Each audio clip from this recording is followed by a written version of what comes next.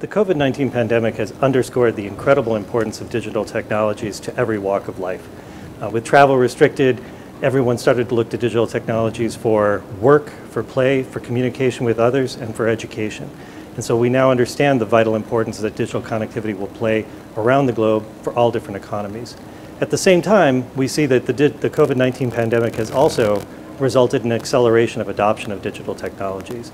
So today, even as travel becomes more uh, accessible and available, we're finding that people will still continue to look towards e-health, telework, and e-government as solutions that are vital for the future, even though we can go back to normal.